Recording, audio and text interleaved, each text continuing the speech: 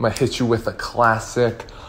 What is going on, guys? So it has been a minute since I last posted, but hey, we finally hit 900k. Home stretch, baby. So the reason I haven't uploaded is this project right here. I have been grinding non-stop. That's a lie, I was in New Zealand. But while I was there, I saw Endgame, and it gave me the idea for this project. So, you know what, bit business expense. I'm, I'm writing it off. now, but it was a pretty solid movie. Let me know what you guys think down in the description if you have seen it. If you haven't seen it, there's only gonna be this one spoiler and that is that Iron Man has a glove with infinity, infinity, ugh, infinity stones in it, and that is what we are going to be making today. I, I don't want to build just some prop. We want it to actually do stuff. So I came up with this idea right here. So we got the red infinity. So we got the red infinity stone. Infinity. You know, I'm just gonna say it different every time. So we got the red anemone stone, the blue Yosemite Stone, the green Yosemite Stone, and the yellow John Kennedy Stone. There's also a purple one and a, a, the other blue one, but you know, we're just not gonna worry about that because that is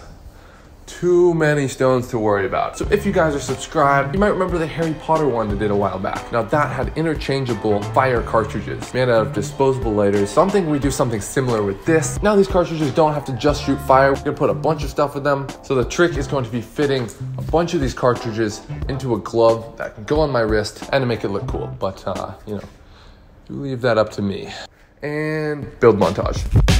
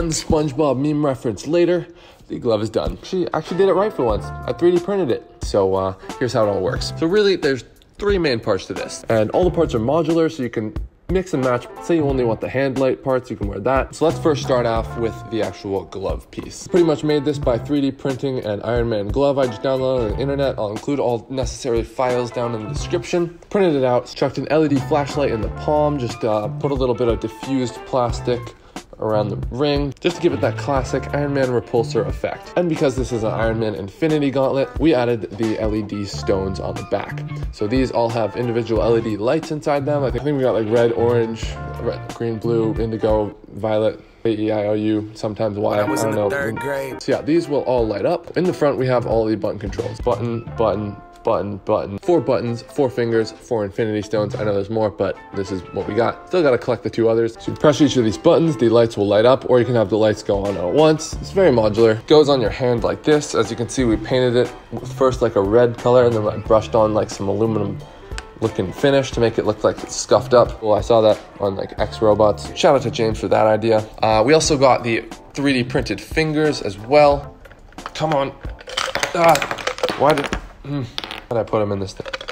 Got the fingers as well, again, just to really complete the Iron Man effect. Can wear them or not, but uh, it does make it a little difficult to hit these buttons, so honestly, I just go without them. If you're trying to look the part, fingers are cool. So the second part of this whole glove thing is this battery pack and Arduino right here. This fits on your wrist, has a little bit of Velcro on the side here, and then to turn it on, you just plug in the 9 volt battery clip right there. Arduino boots up. Beautiful. So now we can connect all of these wires to the Arduino. This is what it looks like with everything on. Got the fingers, got the Hennessy stones, palm light, some classic Iron Man shit right here. Uh, but the last part, definitely not least though, is this right here. So this piece houses the four lighters that we can put whatever we want in, and it also has a little igniter right here. A little arc goes across. So to refill this, it's a little bit of a hassle. If I was gonna do an upgrade, I'd probably change this, but for now, to load it. We've got some screws on either side uh, that hold this bottom piece on, so we just pretty much take these off. Screw one. And then we have access to the main brick right here. So this is where all the mechanical stuff happens. We've got four servos attached to four lighters. Got these 3D printed little bits right here screwed into the lighters. When the servo pulls these down, they decompress and they shoot out whatever is inside the lighters. So can see just like that. And the four servos are controlled by the four buttons on the palm. Whenever you press down a button, one of these servos will go down and the cording light will turn on as well. So let's say we have some green fire in this solution, press down the first button, green fire would come out of here and the green light would go on as well. Kind of like how it happens in the movies. Generally whatever anemone stone they're using, kind of the same color that comes out of the hand. You can see when we press the various buttons, the different servos are controlled. So we have full control over which thing we want to shoot when. And then as I said before, we've got a little pilot light to ignite whatever we want. It Doesn't have to be fire though. Just want to make that very clear for all you uh, YouTube demonetization people. This can be safe. It just probably won't be. But if you do anything like this, just don't use it with fire. Don't condone that. Classic disclaimer right there. You can't you can't beat that. So here we go, guys. Got everything on. Thing looks freaking sweet in my opinion. Some things I would change. I would make it a little bit easier to reload, obviously. Maybe fireproof it a bit more because if you use fire with this, it's 3D print, it's gonna melt. So we can really only use the fire for like short bursts, but uh, that should be good. Again, don't try this with fire. Pretty, pretty cool, pretty safe otherwise. And I'm pretty happy with how it turned out for a first attempt. Let's try this thing out.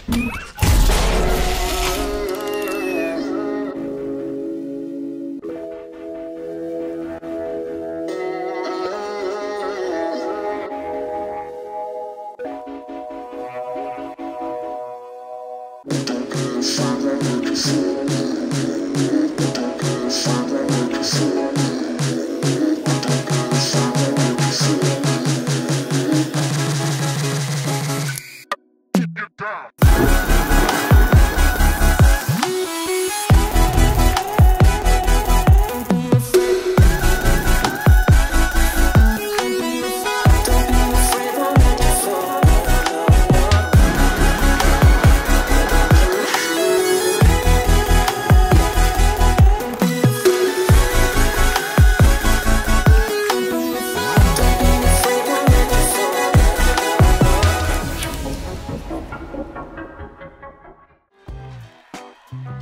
So in order to make colored fire, I explained this in the previous Harry Potter video, basically to make green fire, you can use boric acid and HEET antifreeze. Mix those two together, HEET burns pretty clear, and the boric acid turns it green. If you wanna make red fire, you can use lithium from some AA batteries. Make sure you get the ultimate lithium ones, but don't, don't actually get them, because, you know, remember, disclaimer. That again with the HEET antifreeze, and you're gonna get yourself some red fire. Orange fire, again, just classic fire. And uh, blue fire, this actually ended up not working as well as I thought. I think because when you put it in the lighter cartridge, in order to pressurize it, you have to add butane in order to get it to come out. Um, and by doing this, the butane actually adds a little bit of color. So it ended up just coming out orange. A bit of a bummer, but uh, hey, the green and the red still work pretty well. Plus we got ice, we got water, orange juice, whatever else you want in there. It's a party for sure.